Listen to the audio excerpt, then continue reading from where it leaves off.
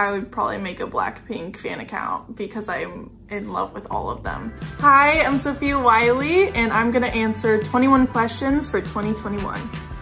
What would you be voted most likely to? Um, I think I'd be most likely to never leave my house because I have always been a homebody.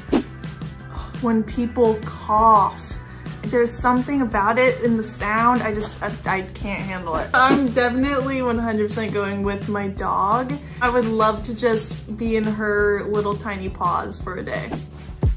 I took her to my penthouse and I freaked it. And I freaked it. Bigger, better, and huge. the way huge and bigger are the same thing.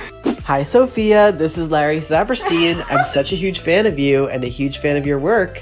My question for you is besides Gina, of course, who is your favorite character in High School Musical, the musical, the series? Oh my gosh, Larry! He's so sweet. I just love his voice.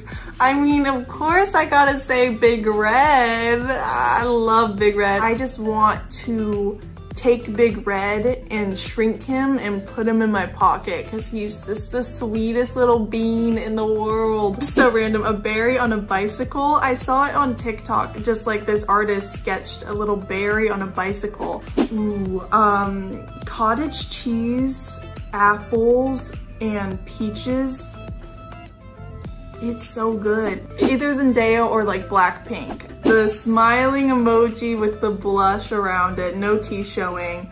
Um, the thumbs up emoji and the little guy, the guy with the blue shirt who's going like this. I really like country music. I also love anime.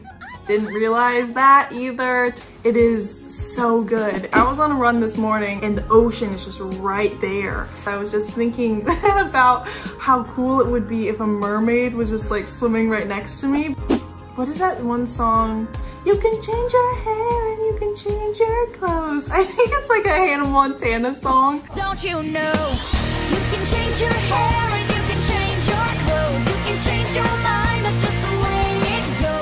like literally every single Doja Cat song I've ever heard, I've heard on TikTok first.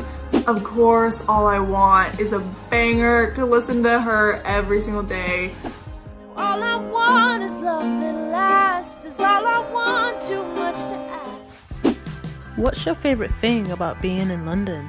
Every time I'd get in a car, I was like, why are they, why is the driver going in the passenger seat? It was like so weird, but whenever I travel, it's just seeing the things that I'm not used to. The biggest lesson was or just appreciating what you have while you have it. I think it would be Panini by Lil Nas X because I, there's something about that song.